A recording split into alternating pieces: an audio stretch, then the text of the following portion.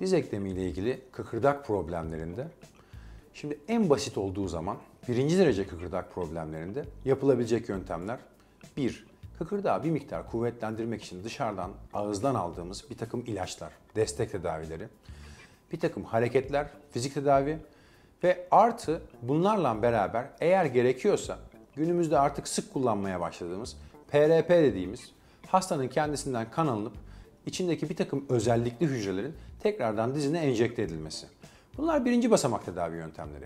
Eğer kıkırdak hasarımız daha büyükse ve daha derinse o zaman kapalı ameliyatlar devreye giriyor.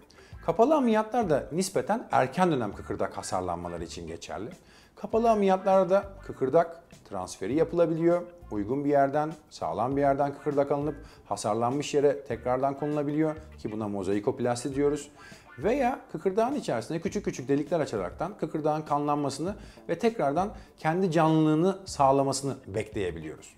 Eğer daha da ileri derecede bir kıkırdak hasarlanmamız varsa ve bu kıkırdak hasarlanması dizin mekanik aksının bozulmasına bağlıysa o zaman dizimizin aksını düzeltmek için yani yük binen yüzeyi düzeltmek için dize kemiği keserekten düzelteceğimiz bir takım osteotomi adı verdiğimiz bir takım ameliyatlar yapılabiliyor. Bunlar protez ameliyatları değil. Bunlar protez öncesi ameliyatlar. Bunlar da yine 3. derece kıkırdak yaralanmalarında ve aks bozuk olan durumlarda yapılabiliyor. Dördüncü derece dediğimiz en ileri derecedeki kıkırdak yaralanmalarında tamamen artık dizin iç tarafını tamamen tuttuysa tek taraflı protezler veya hepimizin bildiği çift taraflı protezler tedavi seçenekleri arasında.